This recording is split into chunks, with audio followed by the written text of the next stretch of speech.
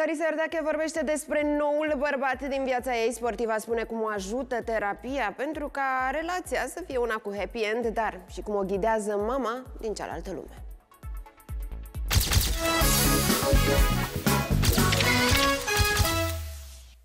Îmi spuneai că ai apelat și la un psiholog, tocmai pentru a putea să te dezvolți din toate punctele de vedere. Faci în continuare terapie? Da, fac în continuare terapie, este foarte bine, mă bucur de fiecare dată când uh, am acea oră de terapie pentru că învăț lucruri noi, învăț să aplic anumite lucruri pentru a putea să fiu eu mult mai bine și uh, cred că ajută foarte mult. Eu fac asta de un an jumătate, doi chiar și merge foarte bine, adică este diferit de la cer la pământ, câtă calmitate îți poate oferi un gând bun, chiar dacă ești într-o situație destul de dificilă. Spuneai că ești uh, cu cineva în uh, cunoaștere.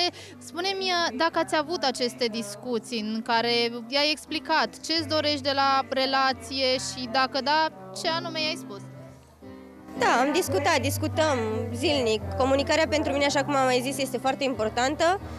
Um, este foarte important să empatizezi foarte, foarte mult cu persoana respectivă, să ai o conexiune anume, să um, chiar și atunci când taci să înțeleagă ce vrei să zici și uh, lucrurile astea funcționează și sunt în regulă.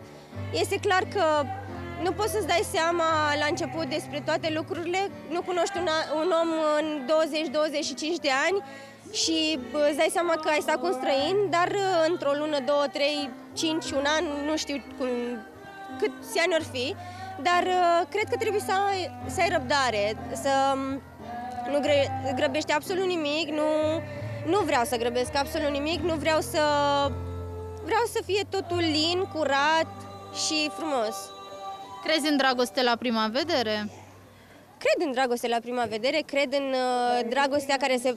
Cred în uh, acea conexiune care se poate transforma în iubire, uh, cred în, uh,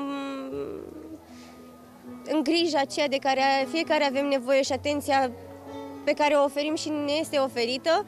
Cred că toate lucrurile acestea, toate sentimentele acestea se pot transforma în, uh, într-un sentiment frumos de iubire. Cred că um, este primul gând, nu cred, este primul gând, de fapt, mama, la care mă gândesc pentru că este clar că în momentul în care cunoști pe cineva, eu cel puțin când uh, cunosc pe cineva, îmi doream uh, părerea ei, o ascultam, o mamă știe cel mai bine.